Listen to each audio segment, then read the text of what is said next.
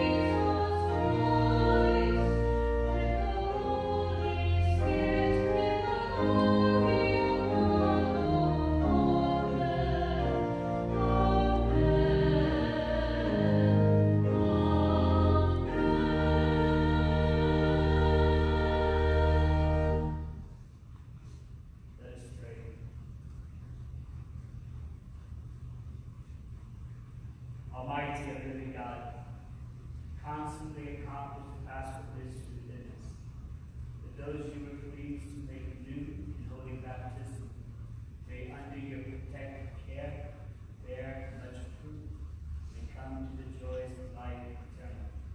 Through our Lord Jesus Christ, the Son, who lives and reigns with you in unity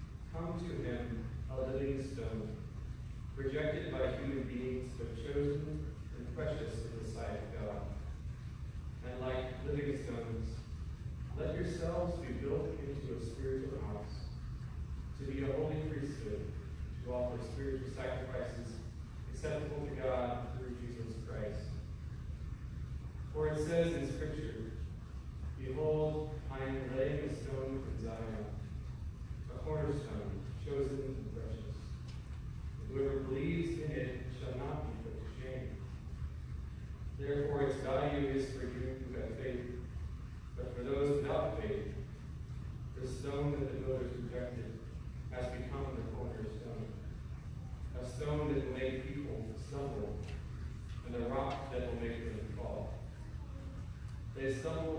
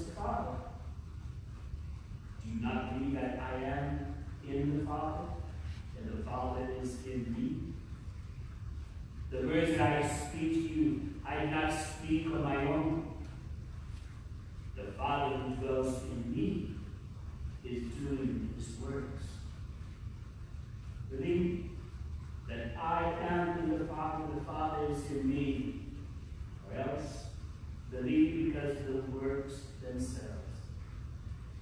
Amen, amen, I say to you, whoever believes in me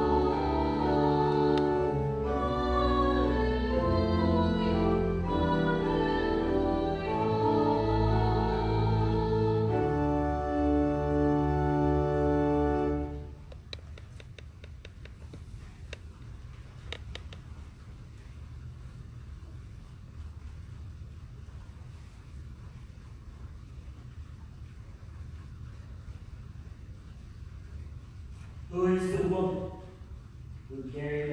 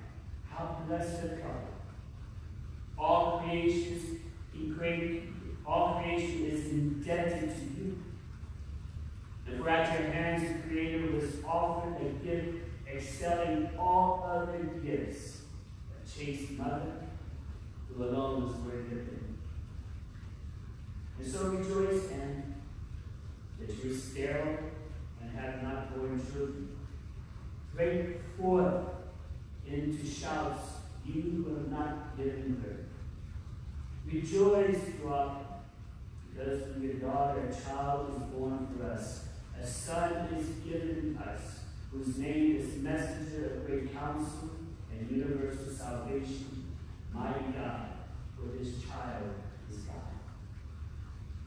Joachim, and how blessed and spotless the couple. You'll be known by the fruit you have borne. As the Lord says, by their fruit you will know them. The conduct of your life pleased God and was worthy of your daughter.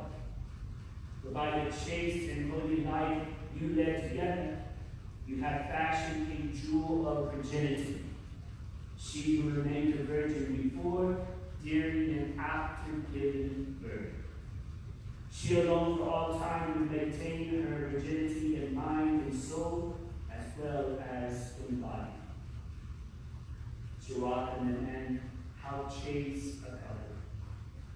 While safeguarding the chastity prescribed by the law of nature, you achieve with God's help something which transcends nature in giving the world the Virgin Mother of God as your daughter. While leading a devout and holy life in human nature, you gave birth to a daughter, nobler than the angels, whose queen she now is. Girl of utter beauty and delight, daughter of Adam and mother of God, blessed the loins and blessed the womb from which you come. Blessed the arms that carried you and blessed your parents' lips that you were allowed to cover with chaste kisses, ever maintaining your virginity. Rejoice in God, all the earth, sing, exalt, and sing hymns. Raise your voice, raise it, and be not afraid. In section 49, page 123 of the Catechism of the Catholic Church, we hear, to become the mother of the Savior, Mary was enriched by God with gifts appropriate to such a goal. The angel Gabriel, at the moment of the Annunciation, salutes her as full of grace. In fact, in order for Mary to be able to give the free assent of her faith to the announcement of her vocation, it was necessary that she be wholly borne by God's grace. In essence, in order for the Son of God to dwell in and be nurtured, the shelter of his existence from the beginning of Mary's conception had to come to be without original sin, without any defilement. Mary was conceived immaculately. Why? She was destined by God to bear his son. In 4491 of the Catechism, we hear, through the centuries, the church has become ever more aware that Mary, full of grace, through God was redeemed from the moment of her conception. That is what the dogma of the Immaculate Conception confesses as Pope Pius IX proclaimed in 1854 in the dogma entitled Ineffabilis Deus. And he writes, the most blessed Virgin Mary was, was from the first moment of her conception by a singular grace and privilege of Almighty God and by virtue of the merits of Jesus Christ, Savior of the human race, preserved immune from all stains of original sin. Ended. Fathers of the Eastern tradition call the Mother of God the All Holy and celebrate her as free from any state of sin though fashioned the Holy Spirit formed as a new creation. By the grace of God, Mary remained free of every personal sin in her whole life long. That's why that beautiful hymn that is always sung in Lourdes, France, that song entitled Immaculate Mary, those words speak so beautifully. Immaculate Mary, your praises we sing. You reign now in heaven with Jesus our King. In heaven the blessed, your glory proclaim. On earth we your children invoke your fair name. We pray for our mother, the church earth, and bless Holy Mary the land of our birth. In the Gospel of Luke, chapter 1, verses 26 to 80, we hear on that powerful gospel reading the Annunciation, when the angel Gabriel comes to her. We also see that she visits her cousin, cousin Elizabeth. On March 25th, Holy Mother Church celebrates the Annunciation of the angel Gabriel to Mary. Here we hear in this Gospel of Luke that the Archangel Gabriel salutes Mary as full of grace. Again, we hear that in this salutation in order for Mary to be able to give free assent of her faith to the announcement of her vocation. It was necessary that she be wholly borne by God's grace. We hear from the Catechism of the Church in 484. The Annunciation to Mary inaugurates the fullness of time, the time of fulfillment of God's promises and preparation. Mary was invited to conceive him in whom the whole fullness of deity would dwell bodily. The divine response to her question, How can this be, since I know not man, was given by the power of the Holy Spirit. The Holy Spirit will come upon you. In order for Mary to carry the Son of God in her womb for nine months, March 25th to December 25th, she had to be pure and holy. The Ark of the Covenant of the Old Testament referred to the stone tablets. In the book of Exodus, we hear those words of the Lord who spoke to all the assembly at the mountain out of the midst of fire, the cloud, and the thick darkness with a loud voice. These tablets, the ten words, sum up and proclaim God's law and are called the testimony. In fact, they contain the terms of the covenant concluded between God and his people. They were to be deposited in the ark. Mary is carrying in her womb the new covenant, Jesus Christ. She is the ark carrying the Son of God. Jesus is the fulfillment of all prophecies and the law. This is why in the Gospel of Matthew, chapter 17, verses 1 through 8, we witness the account when Jesus takes Peter, James, and John on a high mountain. He was transfigured before their eyes. His face became as dazzling as the sun, his clothes as radiant as light, and suddenly Moses and Elijah appeared to Jesus, conversing with him. And Peter said to Jesus, Lord, how good that you are here. With your permission, I will erect three booths here, one for you, one for Moses, and one for Elijah. He was still speaking when suddenly a bright cloud came a voice which said, This is my beloved Son, on whom my favor rests. Listen to him. When they looked up, they did not see anyone but Jesus. Jesus was coming into the world to be a shining light, to remove darkness and bring truth and certainty to the world. Why is this? Mary cooperated God. She was filled with God's grace that she said yes.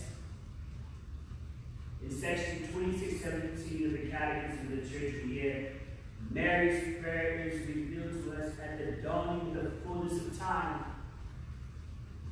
Before the incarnation of the Son of God and before the outpouring of the Holy Spirit, her prayer cooperates in a unique way with the Father's plan of loving kindness.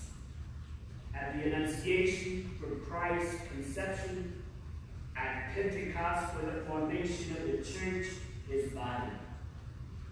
She whom the Almighty made full of grace responds by offering her whole being Behold, I am the handmaid of the Lord.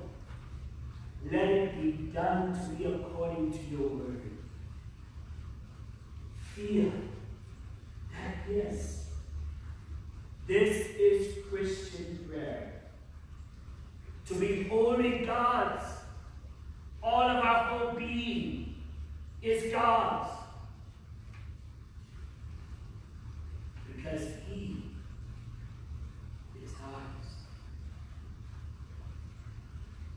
This prayer of Mary challenges each of us every day to live holy with God's respond of our complete being to God. And to allow Him completely to control us, lead us, and to love us. We would then be fulfilled if we do that. It's tough, but it can be achieved because Mary has shown us by saying yes to God. When we say yes to God, all things are possible. Just imagine what God could do in our lives if we are obedient to Him and say yes to Him. As testimony from the Archangel Gabriel to Mary, that her cousin Elizabeth, who was known to be bearing, is the child. Mary's visitation to Elizabeth became a visit from God to his people. John the Baptist is the bridge from the Old Testament to the New Testament. We see in the section 719 of the Catechism, John the Baptist is more than a prophet. In him, the Holy Spirit concludes his speaking through the prophets. John completes the cycle of prophets begun by Elijah, as seen in Matthew 11, chapter verses 13 to 14. All the prophets, as well as the law, spoke prophetically until John. If you are prepared to accept it, he is Elijah, the one who was certain to come. John proclaims the imminence of the consolation of Israel. He is the voice of the consoler who is coming. John quoted the prophet Isaiah, I am a voice in the desert crying out, make straight the way of the Lord. As the Spirit of truth will do, John came to bear witness to the light. In John's sight, the Spirit thus brings to completion the careful search of the prophets and fulfills the longing of the angels. When John heard Jesus in the womb of his mother, he leaped with joy. He leaped with joy as John was in the womb of his mother He listened, heard his mother speaking to Mary, who was carrying the Son of God. He leaped with joy because the presence of God was before him. My brothers and sisters, we should be leaping with joy in our hearts when we too come into the presence of our Lord as we enter the womb of the church. As we encounter the mystery before us, should we not be consoled, moved by the truth, filled with grace and strength of our God? Why is that we're not leaping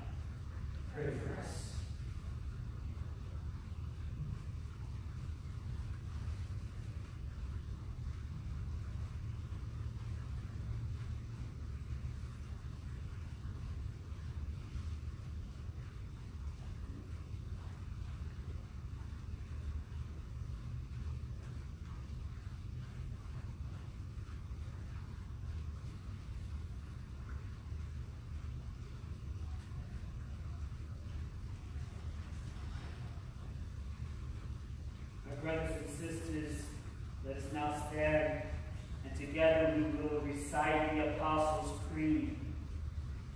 I believe in God,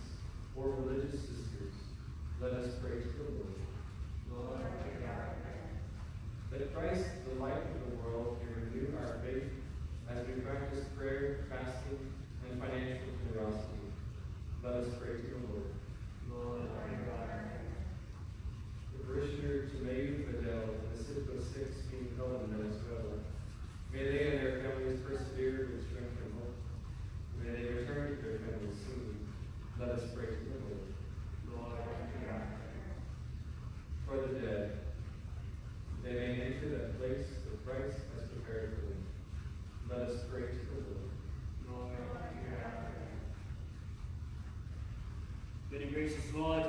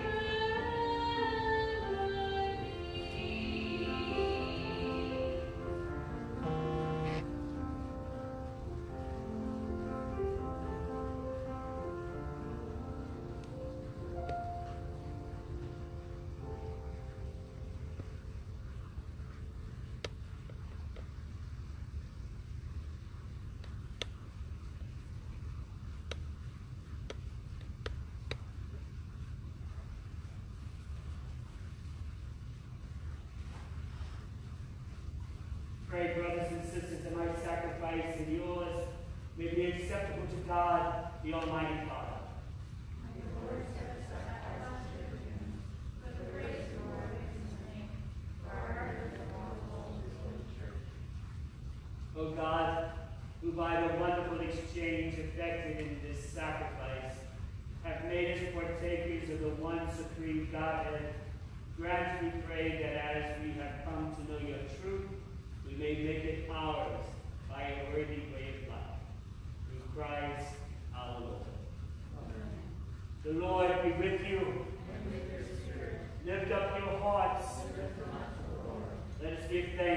Lord our God. It is truly right and just, our duty and our salvation, at all times to acclaim you, O Lord, but in this time above all to Lord be yet more gloriously, in Christ our Passover has been sacrificed. For with the old order destroyed, a universe cast down is renewed, and integrity of life is restored to us in Christ. Therefore, we come to Paschal joy. Every man, every people exalts in your praise. And even the heavenly powers and the angelic hosts sing together the unending hymn of your glory as they acclaim.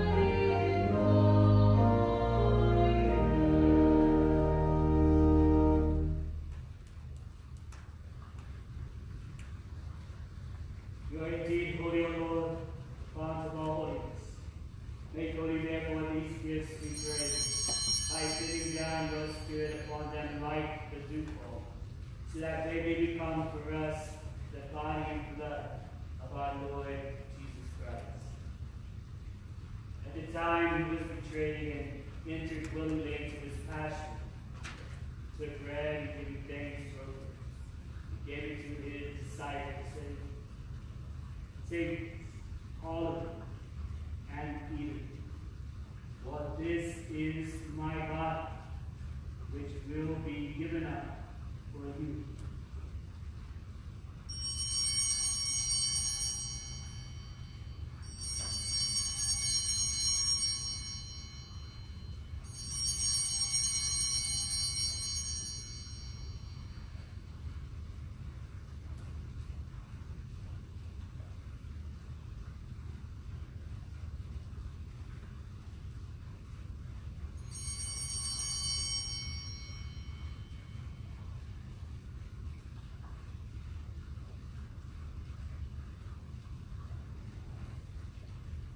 In a way, when supper was ended, he took the chalice. And once more giving thanks, he gave it to his disciples, saying, Take this, all of you, and drink it. For this is the chalice of my blood, the blood of the new and eternal covenant, which will be poured out for you and for many for the forgiveness of sins. Do this in memory of me.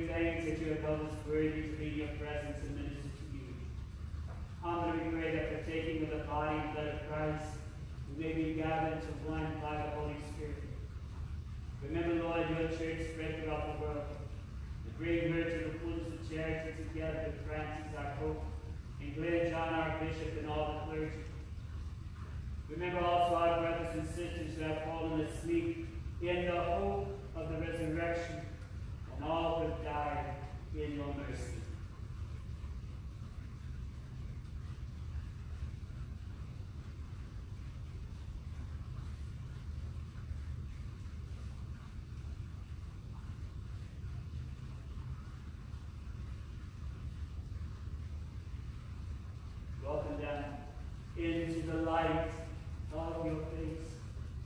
Have mercy on us all,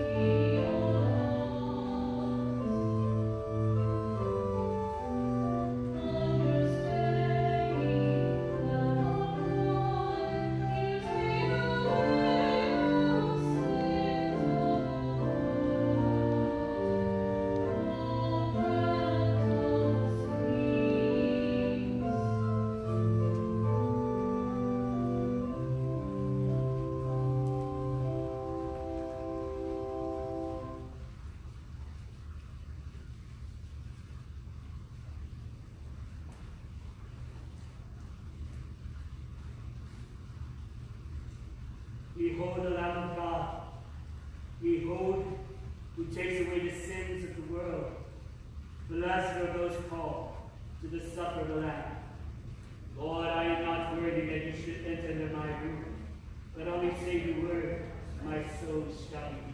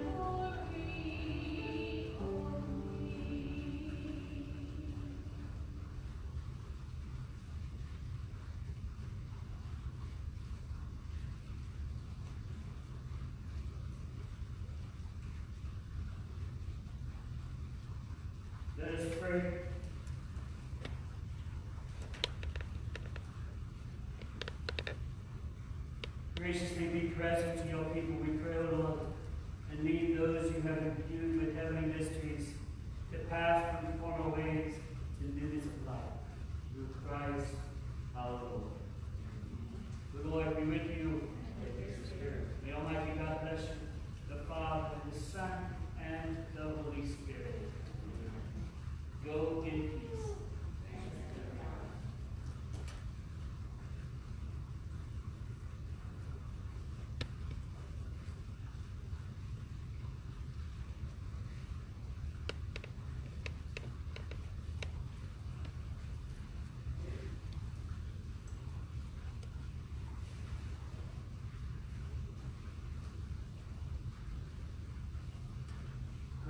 Michael.